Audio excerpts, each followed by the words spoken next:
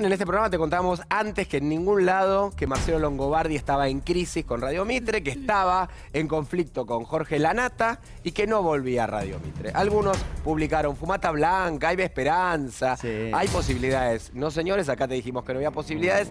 Después vamos a ampliar un poco, pero Marcelo Longobardi no vuelve más a Radio Mitre. El número uno de la radio AM ha dejado su trono, ha renunciado a la radio, se queda a vivir en Miami a seguir con su programa en CNN y no vuelve. Y en el medio, el responsable, Jorge Lanata, Uh.